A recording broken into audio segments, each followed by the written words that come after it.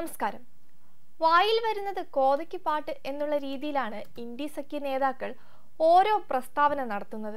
കഴിഞ്ഞ ദിവസം മഠാധിപതിമാരെയും മാഫിയ തലവന്മാരെയും തമ്മിൽ താരതമ്യം ചെയ്ത് സമാജ്വാദി പാർട്ടി അധ്യക്ഷൻ അഖിലേഷ് യാദവ് ഒരു പ്രസ്താവന നടത്തിയിരുന്നു. ഇപ്പോൾ ആ പ്രസ്താവനയ്ക്കെതിരെ രൂക്ഷ വിമർശനവുമായി രംഗത്തെത്തിയിരിക്കുകയാണ് ബി ജെ പി. സനാതന ധർമ്മത്തെ അവഹേളിക്കുന്നത് പ്രതിപക്ഷ നേതാക്കൾ പതിവാക്കിയിരിക്കുകയാണെന്ന് ബി ആരോപിച്ചു. വോട്ട് ബാങ്ക് രാഷ്ട്രീയമാണ് ഇന്ത്യ സഖ്യത്തിന്റെ രഹസ്യ അജണ്ടയെന്നും അതിനുവേണ്ടിയാണ് സനാതനധർമ്മത്തെ ഇപ്രകാരം മോശമായി ചിത്രീകരിക്കുന്നതെന്നും ബി ജെ പി നേതാവ് ഷെഹ്സാദ് പൂനെവാല വിമർശിച്ചു.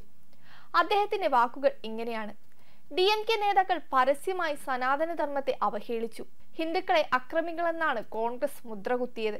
ഇപ്പോഴിതാ രാമഭക്തരെ കൊന്നുതള്ളിയ സമാജ്വാദി പാർട്ടി നേതാവ് പറയുന്നത് ഹിന്ദു സന്യാസിമാരും മഠാധിപതിമാരും മാഫികളെ പോലെയാണെന്നാണ്. അവർക്ക് മറ്റു വിശ്വാസങ്ങളെക്കുറിച്ച് ഇപ്രകാരം പറയാൻ ധൈര്യമുണ്ടോ? ഇന്ത്യ സഖ്യത്തെ സംബന്ധിച്ച് അവർക്കൊരു ലക്ഷ്യം മാത്രമേ ഉള്ളൂ. ഹിന്ദുക്കളെ താറടിച്ചു കാണിച്ചുകൊണ്ട് വോട്ട് ബാങ്കിനായി പ്രവർത്തിക്കുക എന്നതാണ് അവരുടെ രീതിയെന്നും ഷെഖ്സാദ് വ്യക്തമാക്കി. അതേസമയം സംസ്ഥാനത്തെ മാഫിയ തലവന്മാരെ സംരക്ഷിക്കാനാണ് അഖിലേഷ് ശ്രമിക്കുന്നതെന്ന് യു പി ഉപമുഖ്യമന്ത്രി ബ്രജേഷ് പഥക് ആരോപിച്ചു. മഠങ്ങളും ക്ഷേത്രങ്ങളും പള്ളികളും തമ്മിലുള്ള വ്യത്യാസം സമാജ്വാദി പാർട്ടിക്ക് അറിയില്ല. അവർ അധികാരത്തിൽ വന്നപ്പോഴെല്ലാം മാഫിയ നേതാക്കളെ സംരക്ഷിക്കാനാണ് നോക്കിയിട്ടുള്ളത്. അക്രമികളുടെ സ്തുതിപാഠകരായ ഇക്കൂട്ടർ അവരുടെ ശവക്കല്ലറകൾ സന്ദർശിച്ച് പ്രാർത്ഥനകൾ നടത്തുകയാണെന്നും അദ്ദേഹം ആരോപിച്ചു. ഹിന്ദുക്കളെയും മഠാധിപതിമാരെയും അധിക്ഷേപിച്ച് അഖിലേഷ് യാദവ് നടത്തിയ പ്രസ്താവനകൾ അത്യന്തം അപലപനീയമാണെന്ന് മഹൻ ദുർഗാദാസും പറഞ്ഞു. ഒരു മഠത്തിന്റെ തലവനെ ഗുണ്ടാ നേതാവുമായി ഉപമിക്കുന്നത് അയാളുടെ വിവരമില്ലായ്മയുടെ അടയാളമാണെന്നും അദ്ദേഹം പറഞ്ഞു.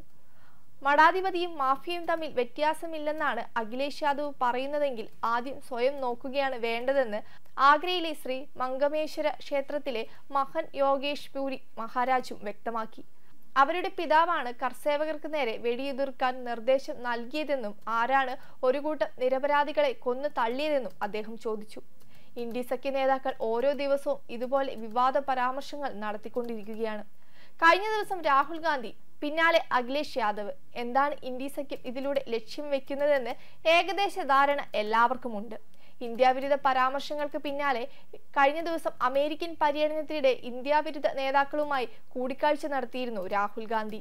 ഇന്ത്യാവിരുദ്ധനും ഇസ്ലാമിസ്റ്റുമായ ഇൽഹാൻ ഒമറുമായാണ് രാഹുൽ ഗാന്ധി കൂടിക്കാഴ്ച നടത്തിയത്. അധികാരഭ്രമം രാഹുൽ ഗാന്ധിയെയും ഇന്ത്യ സഖ്യ നേതാക്കളെയും കൊണ്ടെത്തിക്കുന്നത് വലിയ കുഴികളിലേക്കാണ്. ഇനി വരാനുള്ളത് കാത്തിരുന്ന് തന്നെ കാണണം. Web desk Karma news.